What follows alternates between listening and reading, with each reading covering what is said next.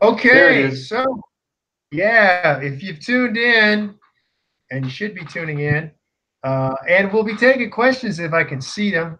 Uh, I don't always have the. I noticed the last time we talked, we had some questions, Ken, but I didn't. I, I didn't see them during our talk. So uh, maybe I'll be able to see them. I don't. I didn't turn it off or anything. I, I don't know where it's at. But anyway, so it's uh, Christophe Clugston and Ken O'Neill in 2019, baby. New year, new thing, new thrills, uh, new shape of things to come, and uh, we're gonna talk about a few different things as we normally do. And we're going to probably start out with uh, what is the state of JKD in 2019? And what does would or what would Bruce Lee think about the state of JKD at this point? And when what does Ken think about it, and what do I think about it? So you're going to hear the our idea of what Bruce would think, and then you're going to hear our idea probably go somewhere else. And if you got questions, and if I, I'll try to see them. Uh, I have to look at this thing a little more, make sure. But if you got questions, put them in there, and we'll get to it. But anyway, uh, so Ken, uh, for one thing, I never, I, I never envisioned 2019. Did you ever envision that many years ago? Did you ever see, think about the year 2019? no, I figured I'd be dead way before then. I really did. I didn't think I'd make it much past 40, if, if that. I did too many crazy things, so I thought, you know, a lot of deep dives, and you know, I figured I'd probably die of the bends or something, if not something yeah. else. Did you ever get? Did you ever get the bends or anything? No, but uh, I was on a. I did a mixed gas dive in the Caymans. It was like 240 feet on night dive, and uh, a gal who was a very experienced underwater photographer back in those days. That was in the 80s. She, uh, or was it in the 80s? No, later than that. I can't remember. Anyway, she did. She not not on that particular dive, but a few months later there was a big article on that she had she she goofed. You know, you know when you combine repetitive dives with flying, it's a big big big problem. You know, you can't do it right. You're supposed to wait at least 20 she made right? miscalculations in the tables and and uh, yeah, she got the bends really bad, and they couldn't get her to a recompression chamber too. She was a really cool, really cute, really experienced dive dive gal. She was a underwater photographer, and uh, it was just a shame to see that happen. But yeah, I, I used to do a lot of that kind of crazy stuff, and I was always afraid to get stuck in caves or in a wreck or something and run out of air. You know, so I, I was always figuring I might not make it, but here we are. Regardless of all that, here we are. So yeah, I didn't. I, I don't think I ever thought much past 2000. You know, I mean, leading up to 2000 because that was such a big deal. You know, millennium, uh, and for those millennials, they don't understand any of this. But man, everybody, there was all the doomsday thing, and it was pretty huge, wasn't it? In the 90s, there was like from like 94 on until 2000 happened, there was increasing doomsday things, and everybody there was remember the big Y2K computer crash that was going to happen, and and uh, there were people stocking up preppers, you know, before preppers yeah. became. I mean, I mean, there's always been preppers, obviously, but yeah, I mean, prep prepping is a huge thing. I know. Hey, I noticed by the way that there's whole programs about preppers now on on National Geographic or whatever, or Discovery, National Geographic. Pretty bizarre because they were always considered fringe, and now I guess they're not. There's money to be made in that field, so that's why they're getting TV. But leading from that, um, yeah, I bet Bruce never thought about 2019.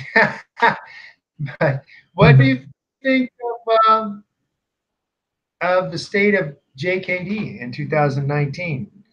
Well, except for a few people that I know of, it seems like it's pretty much non-existent because you know you see all these little JKD groups online and stuff, but really what they're when I look at them and listen to what they're saying, it's it's they're really talking about Jun Fan kickboxing you know, uh, especially the other, mainly the other guys in St. Louis, that other group that came after us. They're, they're, they're. It's like they're preservationists. You know, they're they're just mimicking what Bruce personally used to do, and they don't they don't have Bruce's attributes to to do it at a high level. Plus, that's that was just part of his evolution. I mean, that wasn't where things were supposed to stay static. I mean, you know, you and I talk about this all the time, but JKD is a process. It's not. It's not a specific way of of of uh, that's codified where you're just doing uh, your front kick this way, you know, or your your hook or round kick this way. It's that that that's in the past. I mean, now it's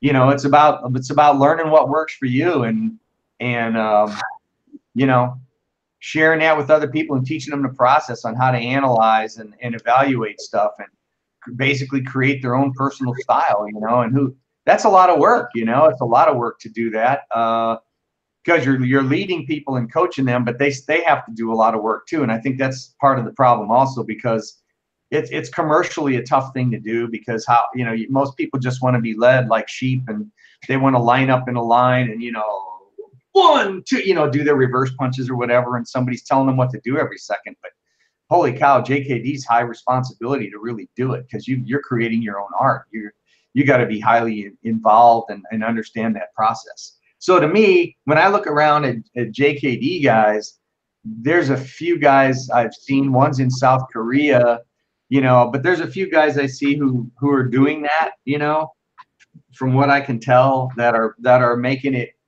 evolve, doing something uh, creative with it. They're not just trying to mimic old Jun Fan kickboxing, which is still what I think most people are doing. If there's Wing Chun elements in there at all, you're you're mimicking old style because Bruce was dumped that stuff himself, basically, you know. So, are you a preservationist or are you really doing JKD? And if you say you're doing Jun Fan kickboxing, then you got to be careful because you might get in legal trouble with Linda Lee. So, I don't think these guys understand the definition of the term that much, that well. Most of them. Uh, you bring up some interesting points because there are a lot of people uh, who argue this very thing. Wing Chun is there? Was Bruce doing? And uh, these guys, of course, are people who never, they never obviously trained with Bruce, but they never trained with someone who trained with Bruce, you know? So they're far down the road and they're trying to, basically, they're trying to project their, what the, their wishes and stuff onto historical fact. And what I know, because I trained with with Gene LeBell, I know that Bruce was moving more and more towards grappling things because of the fact that when you hit someone, you never know. Like you don't know, right? Because some people can take a better punch or kick than other people. And as a professional fighter, I definitely know that. Uh, but when you lock up on somebody's arm or you have you put them in a neck crank, you know and they know. I mean, and that's that was the thing. Yeah, Gene call, fin, calls it finishing holds, and they definitely are finishing holds. There's no there's no question when you got a, somebody in a finishing hold, they know it. Uh, the some people, of course, if you're choking them, yeah, you choke them out. They're still struggling until they get choked out. But Gene LeBell has a saying, and it's pretty good. Uh, when in doubt, choke them out, which is not is is different. Now, I am not advocating that everything be about grappling. I'm just saying that Bruce was moving into a component part that he lacked. He didn't have grappling anywhere else. And you can find Dan Inosanto talking about that very factor. Like they did very rudimentary uh, grappling. You know, you don't. Not saying that you need grappling in every situation, but it's good to have. If you're going to be uh, a JKD guy, you need to explore many different things and find out what fits your style as we're talking about and and one of the things you also brought up and that I, I will echo is that when you see people teaching JKD, most of them couldn't fight their way out of the bathroom, uh, number one. Number two, they teach patterns, as we know and hate, and that's not what it's about. It should be a one on one and JKD actually, the way combat JKD really is, if you're really going to do it, it's a one-on-one training, and that so that takes a lot of intensive commitment from both people, the person who's the instructor and from the person who's learning, and the instructor has to learn you personally to understand what motivates you because every person is different. There are some global things uh, that we know will work, but its application is varied every time with a different person. And that's what I think makes it, and that's why Bruce gave up on that whole idea about commercializing it yeah. because uh, commercializing it was, uh, you're talking about one-on-one training. It can't be commercialized like that. Not if you're really trying, if you care about the person development, it's, it's different. And that's also where I see, but it's also a limitation of JKD because you're doing it that does that mean that there aren't other ways to train people? No, there are other ways because I do it with military. Yeah. Commando training is all about. Uh, but sticking with now, the uh, what I I feel and and I agree that you got you still got people you know what was Bruce doing in 67 or 69 and he you know he's doing the builds who cares for the stuff. Number one, are you stopping punches? Uh, you know, are you getting out of the way of a kick? Uh, and believe me, Wing Chun has a million holes. And and these guys are always saying, well, you have never seen. It's called the true Scotsman, uh, false logic. They're trying to tell me I've never seen a real Wing Chun guy because a real Wing Chun guy could stop this stuff. No, he can't. Because this flaw is built in. The low line is wide stop takedowns. They can't stop uh, upper body Greco.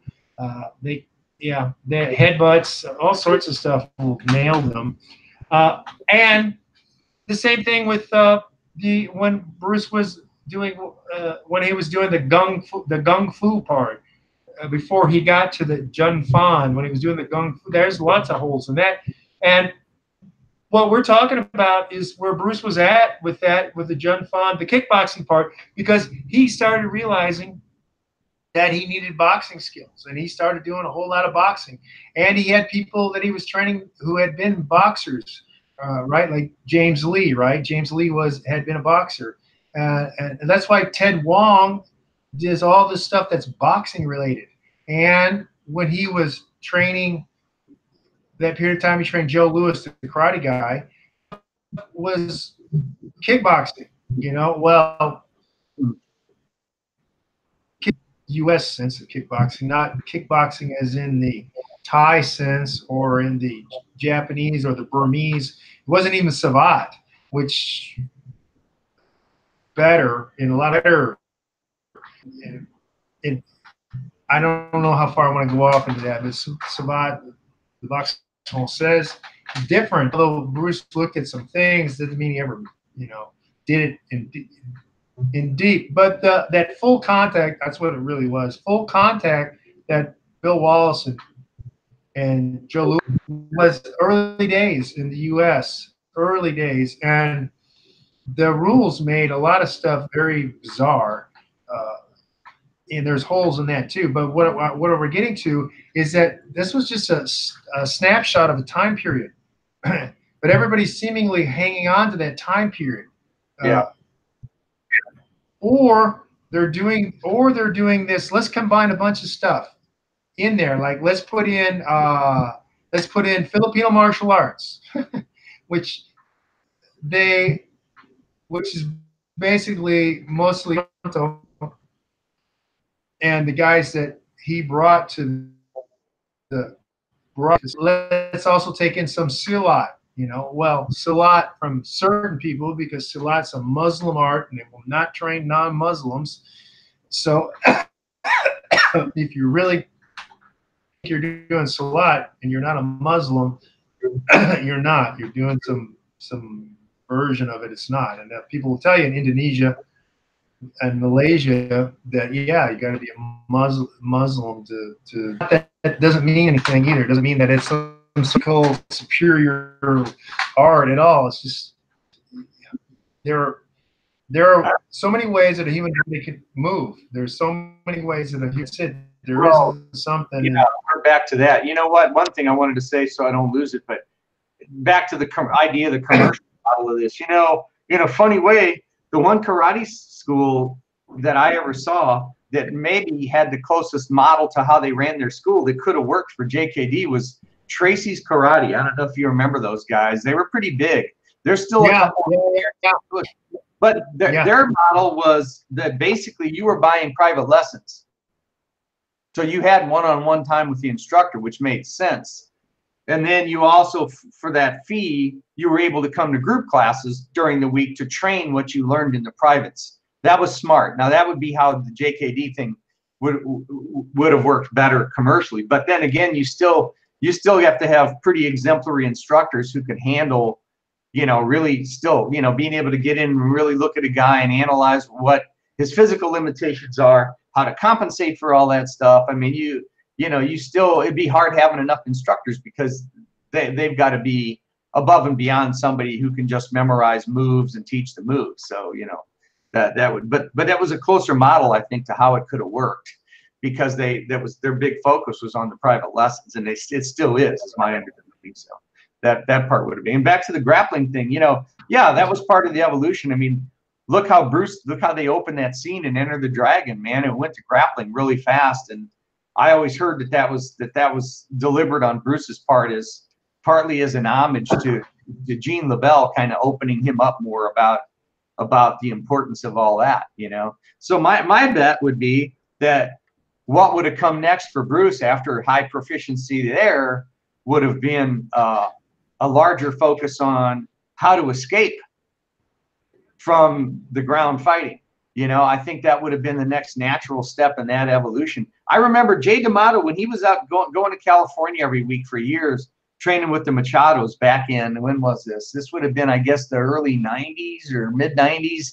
And he ran into Dan Inosanto out there, and he hadn't seen Dan for a few years. And Dan said, Jay, what are you doing here? And Jay says, Well, I've been coming out here every week. What are you doing here? And they started talking. And, you know, one of the things apparently that Dan told Jay was he's like, uh, yeah, a lot of what I'm doing here is really understanding this so I can learn how now how do you how do you escape from this? So, you know, it, I'll give Dan credit there. He was thinking that way too, which to, would be to me how a JKD guy would think. It's like, yeah, understand what these guys are doing, but then understand how to how to escape from this happening. I mean, you're you're always trying to get to that to that opposite place, you know, not not being stuck somewhere, but learning how to go past. And then I also think the next progression, a big uh, progression in Bruce's would have been more multiple attacker work and armed multiple attacker work. I would suspect would have been part of the evolution. And uh, you know, if, if everybody finishes reading that that new book that just came out, you know, Bruce was no stranger to firearms either. His original group, some of those, one of those guys was in the military in particular, but you know, they taught Bruce a lot. He used to like to shoot. You know, I'm sure that would have come out. You and I were talking about this offline, but there probably would have been a, a, a bunch of extensive uh, uh, handgun work. I'm guessing that would have eventually come into it, and and disarming, and I suspect all those things would have been part of the evolution had it continued. Um, I agree with your what you're saying. Yet grappling. In fact, I actually have too deep anti-grappling. So you can do what you spent your time at. You spent more time striking, which is what JKD is, more striking than anything else. Then you can try to retain that. And I, and as John Saylor, former Olympic judo national coach, said, it's a lot easier to develop a world class sprawl than it is a world class takedown. You know, it takes a lot less time to be able to stop the guy who's trying to do the takedown than it is to get the to develop that takedown that's incredible, which is uh, very important. That's uh, I think that Bruce would have done that. I do believe that when you're talking about the weapon into the weapons, and I don't mean the uh, antiquated, outdated stuff. Uh, the Chinese butterfly swords and all that. The, yeah, the yeah. long spear. Yeah, he wouldn't have wasted his time. No, he would have done. I think he would have done more knife things. Yeah, and I, and I definitely agree. With, I, I definitely agree. He would have gone into handguns, and he because he, he could back then. Though, I mean, handgun technology and shooting has improved uh, technically a whole lot since that time. I mean, there were great shooters back then, but as far as teaching it the way you do it uh, tactically has changed a whole lot since those times. So it would have been interesting. I think it would have been interesting because that's part of it. You know, fighting is not it is about vi- he was about fighting and violence, not the ring, not the symmetrical ring stuff, uh, which I think a lot of people lose sight of because they yeah. get involved in MMA and or they they think about they think about Muay Thai or they think about JKD in the same way that hey, it's about two guys doing skills that they have certain things or and there's certain you're going to be in a certain situation you're going to be wearing non-restrictive clothing you're going to be on a flat surface you're going to be able to see everything. That is not what bruce was about originally you know?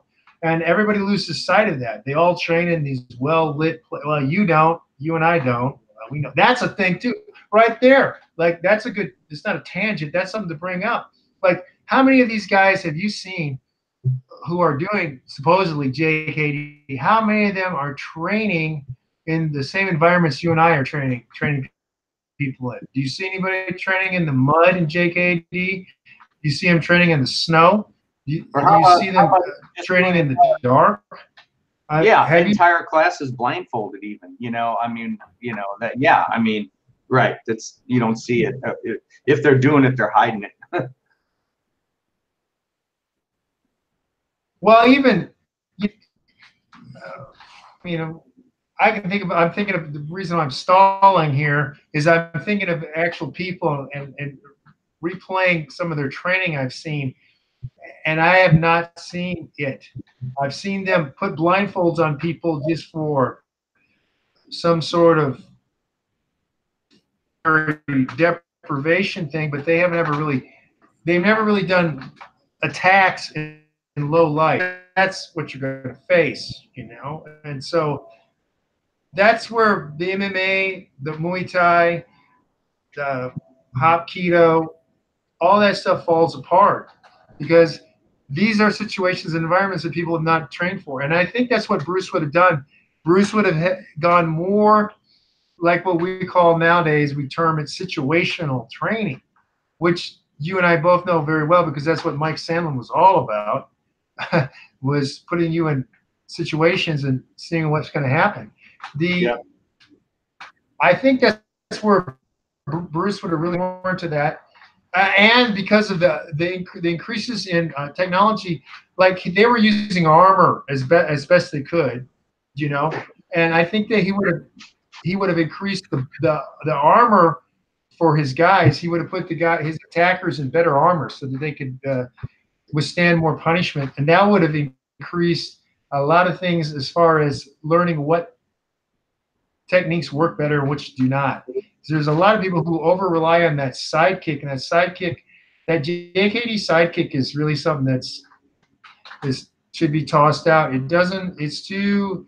It you commit yourself too much. It does, and it's very hard to hit a moving target with that. Uh, I'm talking low line, uh, and you leave yourself very vulnerable. If you miss or if they grab you, you're you're screwed. It's too it's too much of a.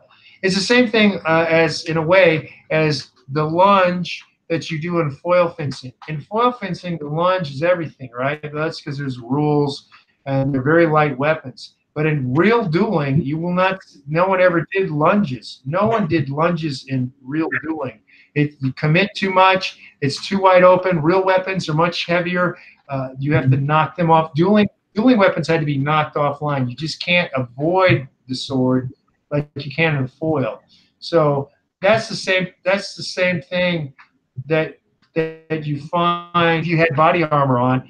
And that same thing with I was talking about what do you think about the JKD sidekick? I threw it out. I, I, I think it doesn't work. I think it, it's too risky. There are better things, and it's uh, it takes a lot of time to develop it. Number one, it yeah. won't work against someone who's moving around very well. I mean, you have to be great at it. Plus, the footing, it's all in movies and stuff, but it's not really something you can apply. And there are going to be people who say, "Well, you don't know how to apply it." Really? Because uh, you know, I was a professional boxer for a long time and what were you guys? Uh, comment on it. Were you? Tell me your how many professional fights you guys. I'm telling you that I threw it out. I don't. I did. I quit training it. I quit teaching people it. I don't yeah. use it. Uh, what do you think? What do you think of that as far as JKD? Oh yeah, I mean, uh, when you look at how long it took to develop that, you know, I could take people off their feet with that kick. I mean, I worked it hard enough. You know, through through a, a, a an inflated air shield too, not just foam. But I could take a guy my weight or a little heavier. I could get them airborne. I could get them uh, off their feet and on their back, and Stan could too back in the day. But um, for what it took to develop that and maintain it, and then you know, if a guy even gets an inkling that that thing is coming, it's so linear. I mean, just a simple twist and the thing slides right past your gut. I mean, it, it was way too much time to develop and, and maintain it. Plus, if you didn't have the space to do it, you know, I mean, in general, you know, kicking anywhere but low is asking for getting your leg cut up or, or your leg grabbed. It's, it's, you see it fail too often as you're, when you're testing that stuff. You know, that's why I think that's why more combative arts that are not sport they their kicking gets more minimal. You know, it gets it gets smaller, it gets closer in, it gets more camouflaged, and it's low line, like you just said. You know, it's you don't see the big fancy kicks because it takes too much to maintain I, them. I, yeah. Well, now in the movie, J, we also got to talk about the fact that the movie JKD was not what Bruce would have really done. He was throwing high kicks because he could throw high kicks, and we'll tell you too that Bruce with high kicks. He wasn't going to use high kicks to fight with. Um, and so, yeah, the the point is that uh, I agree. There's a whole different. Like this is one of the stuff I do with the commando training is because there are strikes, there's sports strike, and then there's war strikes. And the same thing with kicking. There's kicking, and everybody's doing some sort of sport kicking, really. Taekwondo or Muay they're both sport kicking. They're not doing war kicking. And it's got to be because you can't.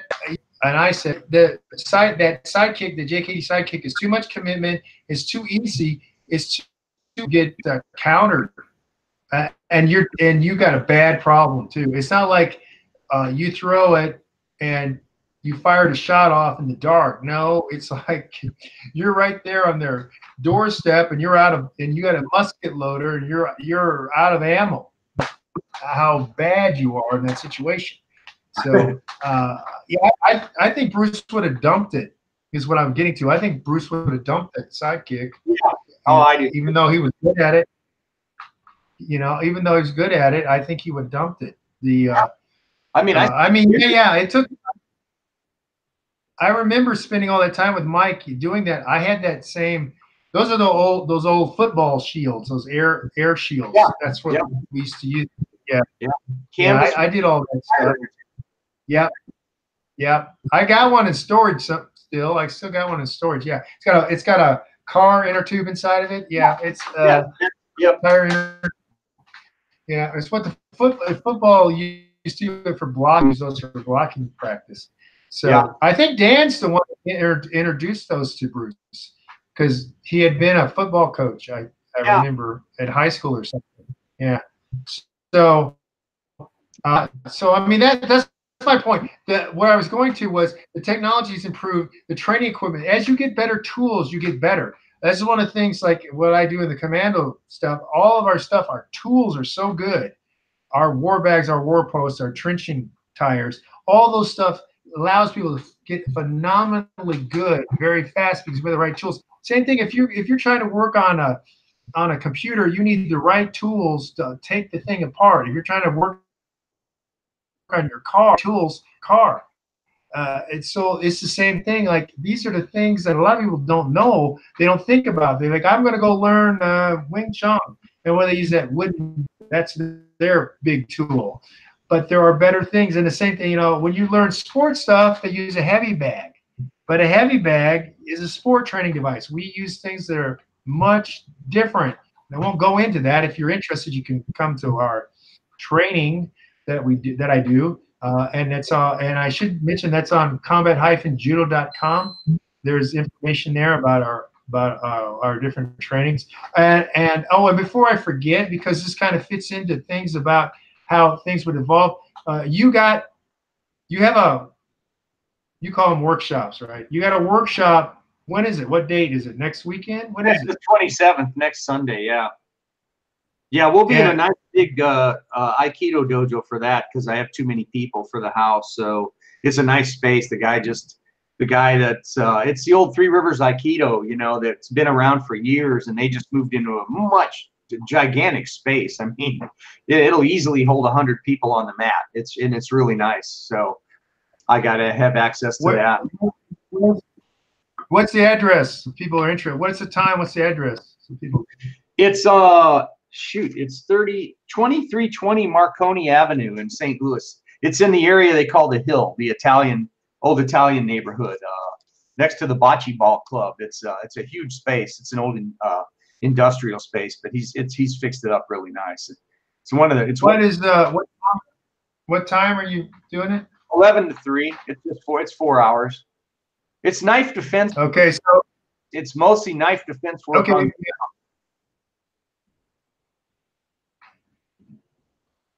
Yeah, so 11 to 3 on the 27th of January 2019. That's a Sunday. Yep. Uh, it's at the address that you said. Uh, you can contact uh, Ken on his Facebook, Ken O'Neill, or uh, I don't always get to all the messages people send me on the things uh, below these comments because I got so many videos that I don't I don't always check them. But you can you can definitely contact me on my Facebook and I'll give you Ken's con. If you can't find Ken, you can find me and I'll give you his thing because if you want to go to it, it's so it's a four hours on the 27th of January on a Sunday. Starts at 11, gets done at three, and it's about knife defense if you're on the ground. Correct? Is that yeah. what's happening? Yeah, that's the main focus for the whole thing. Yep. And so that's going to be a definitely totally different than what people think JKD is because they're not doing that. Uh, so what like we were talking about, it's a situation you're going to be put in a situation. You're going to be given some solutions, and then you're going to have to try to work to make those solutions apply. Correct? Yeah, yeah, and uh, some pretty there's some pretty unconventional things that most people don't. It's not stuff you see in many other. Uh, you don't see it in any of the commercial type schools because this is more like uh, more getting in the realm of survival work on you know on the ground. I mean, people don't think about you know you, you get into it and the blade comes out and and you you you both end up on the ground or the guy's attacking you while you're on the ground and a lot of folks don't address that kind of thing you know so we're, we're trying to, to cover all the environments that things happen in, just like you do. So this one's focused on that part. I've been doing this knife workshops in a series, you know, and and this is just one block of the series. So it doesn't matter if you've done the other ones or not, because this thing, each one kind of stands alone on what the emphasis is on, and this one's on the ground aspect. So anybody can can do it, you know, or give it a shot. So. This one's kind of uh, been attracted. Uh, I've got some law enforcement people too, because this is a thing that comes up, and they're like, "Oh, yeah." So it's open. It's open. What's that? No, froze up a little bit. I think we're froze up. We are frozen.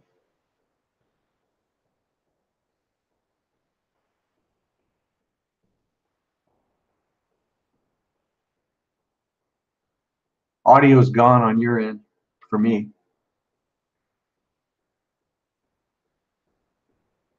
Yeah, we're back to uh, the video's locking the two.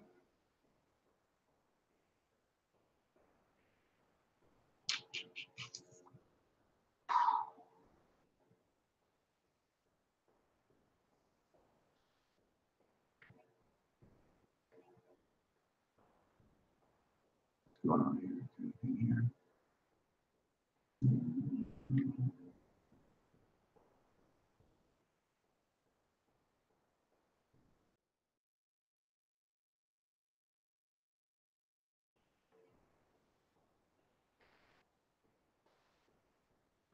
We are locked.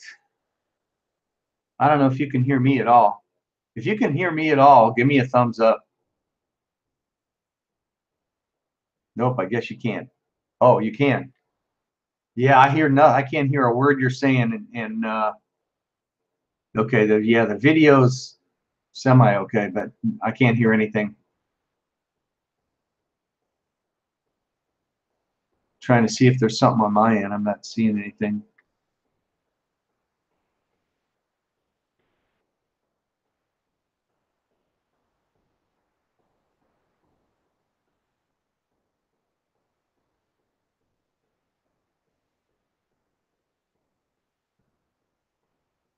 Uh,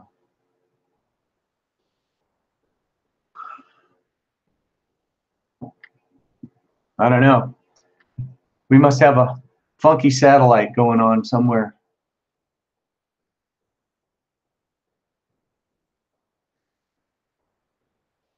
Hmm.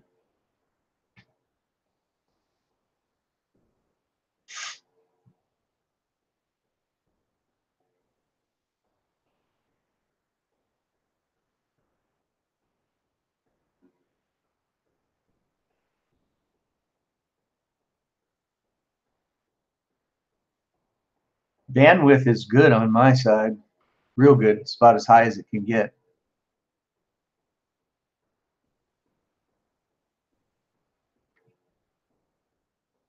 I don't know. We might be uh, having to stop here.